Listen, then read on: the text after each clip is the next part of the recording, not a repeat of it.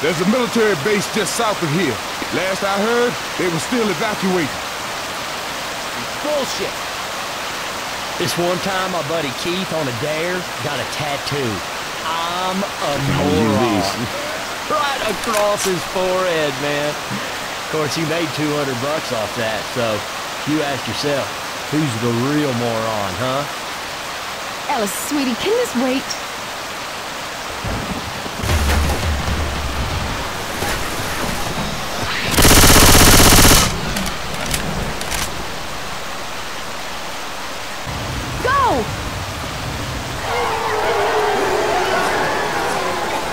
Go!